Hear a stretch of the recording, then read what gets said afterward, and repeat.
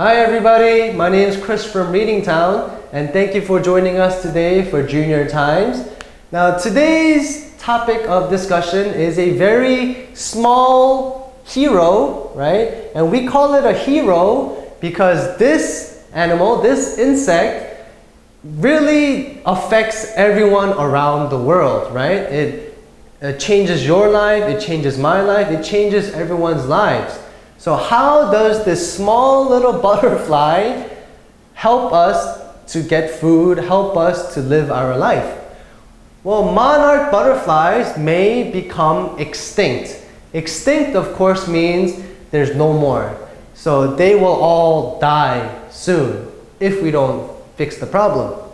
So the eastern monarch butterfly, which is this kind of butterfly here, there's many, many different kinds, but this kind of butterfly of North America may continue, keep going, to be at extreme risk. Is very, very, extremely, very, very super risk, danger of extinction despite a recent surge in their population.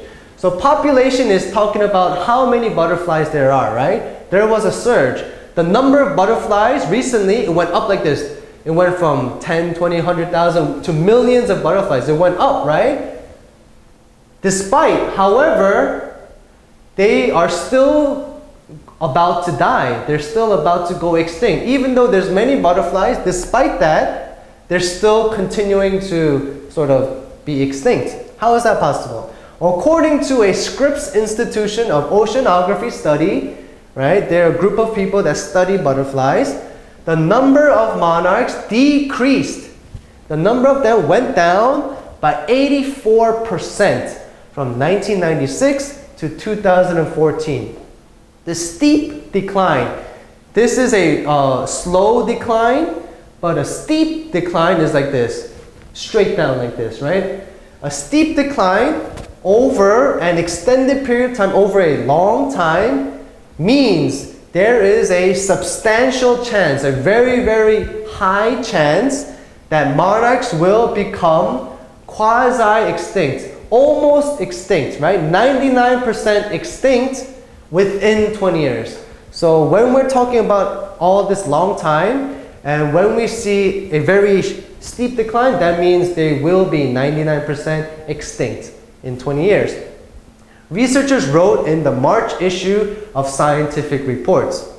This means the species has so few numbers that it is impossible for the population to make a complete recovery. So that means there's so little that they can never make a full recovery. They can never come back to a healthy number, right? Recover means to be healthy again. Scientists count the population of monarchs by measuring, by seeing how many kilometers the land area the insects occupy while staying in central Mexico for the winter. So all of these butterflies go to Mexico and they measure how many kilometers that they are staying in, right? And they can kind of figure out, oh yeah, they, there's about 20 million. They can count that. The recorded eastern monarch population reached an all-time low. For in all of history, it was the lowest in all of history in the winter of 2013 and 14 when the butterflies only covered 1.7 acres. This is talking about the size of land. It's a very, very small size of land. Recent conservation. Conservation means they're trying to protect it. So recently, In 2015, 2016, they're trying to conserve, trying to protect. Efforts have led to dramatic increases. So after they tried to protect it, what happened after? It led to a dramatic increase. What increased is the number of butterflies. It increased, right? This past winter, the insects covered 10 acres. So before it was 7 1.7 acres, and after they conserved it, it went to 10 acres. So it went up, up, up, up, up, right? But it's not enough to offset, it's not enough to fix the general decline, right? So it declined this much, but it only increased this much. So we still have this much to recover, right? We cannot offset it, we cannot fix it. Factors such as the loss of breeding habitat where they make babies, uh, it's gone. And deforestation, meaning the forests are cut down, the trees are cut down, are seen as causes for the decline. So why are the numbers falling down? Is because they cannot, they have nowhere, they have no habitat to make babies, they have nowhere to live because trees are cutting down, according to the World Wildlife Fund. All right, we have three key terms here, or three key qu questions, sorry. A, what does it mean when a species is classified as quasi-extinct? Right? Quasi-extinct means 99% extinct. It means the population loss of a species, of a kind of animal, is so severe, is so bad and serious that a complete blank of the population is impossible. So uh, there's maybe a few butterflies, so it's not 100% extinct, but it's quasi-extinct. There's a few, but they will be extinct because these few can never make enough babies to fully recover, to fully be fixed again. So we're looking for a recovery. So that means we have this much from long time ago, but we have so little that we can never recover. We can never go back to this place. It's kind of a sad thing to think about that we can never recover again. We can never be healthy for these butterflies. These butterflies can never recover to the number they had. B, how do scientists count the population of butterflies? Do they count every single butterfly? No. The scientists blank the land area occupied or lived by the butterflies while they stay in central Mexico for the winter. So they do not count every single butterfly. They count the land or they sort of see how many kilometers the land is where they're staying for the winter.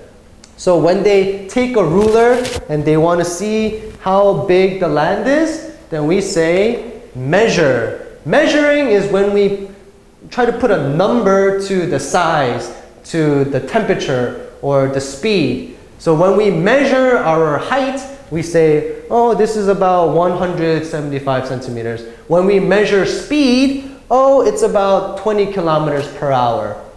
Or when we measure how hot it is, it's about 20 degrees Celsius. We're trying to put a number to the size. C. What are some possible causes for the decline of eastern monarch butterfly population? Why are they all dying?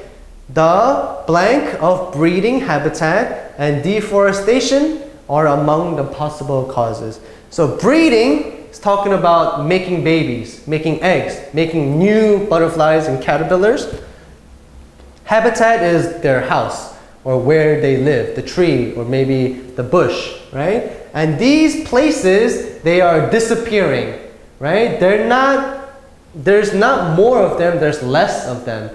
They're not, they're vanishing, right? So we say that is a loss of breeding habit, habitat. So when we lose money, we don't get more money. We lose money means we are getting minus money. So loss, we can think of it as a minus, all right? Or subtraction. All right, we have three key review terms here.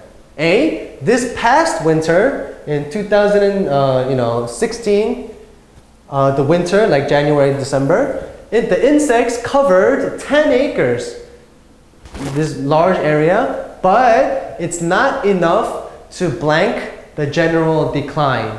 So the general decline, for example, it's we're lose for example, we're losing 10 butterflies every hour. So every hour 10 will die, right? Every hour 10 will die, but uh, we are saving 5, right? So even though 10 are dying, we are saving 5 but we still have five that are dying, right? So that means we cannot totally fix, we cannot totally repair, we cannot totally offset what's the problem. So for example, if you sleep very, very late at night one day and you only get two hours of sleep. So you only sleep two hours and then you wake up, you go to school, you're very tired, right? But you can fix that. You can offset your tiredness by sleeping or taking a nap in the daytime. You sleep a little bit more in the day and then you're fixed again. You're not tired anymore. So we can offset or we can fix what we lost before. We lost five hours of sleep. Well, we can get it later again, right, to fix that. B, the recorded Eastern monarch population, blank, an all-time low in the winter of 2013, 2014. So we're talking about low here, right? And when we want to go very far somewhere and we want to get something, we say that is reaching. So when we reach an all-time high, that means it went very high up. But when we reach an all-time low, that means it went very, very low, right? So reaching is it went, you know, to the very, very end of it, to the very, very far end of it. C, Recent, recent conservation efforts have blank to dramatic increases. Dramatic increases means it went up like this. The number of um, butterflies, it went up, it increased, it went, uh, a lot of them were born. However, this was because of recent conservation. Conservation means when people try to protect it.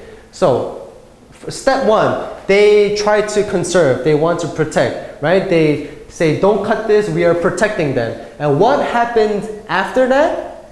Well, the number of butterflies increased. So what, when we want to say what happened after is led to, right? So led is something what a leader does. A leader, right? We know what a leader is, right? A leader is like the captain. When the captain goes this way, then we follow him, right? So we can say uh, the leader is leading us, the leader led us, right? So when this happened, what followed after the protection? We're protecting them. What followed after? Well, the number of butterflies increased. That is what followed this protection, this conservation effort, right? So to review, offset, it means to fix a problem from before. If we lose five pencils, then we can offset that. We lost, we're minus, but we can plus five, we go to morning glory and we get more. We can offset that, right? Reach is talking about how far away we can go, right? How high can we go? How low can we go, right? And lead is something that follows something. It comes after something. So this increase, this monarch increase, it followed, it happened after, after they try to conserve, after they try to protect them. All right? So next time we see a butterfly, we should really think about how much they help us, how important they are to not only you and I, but to all animals and you know all people around the world. So thank you for joining us for Junior Times. My name is Chris from Reading Town. See you next time.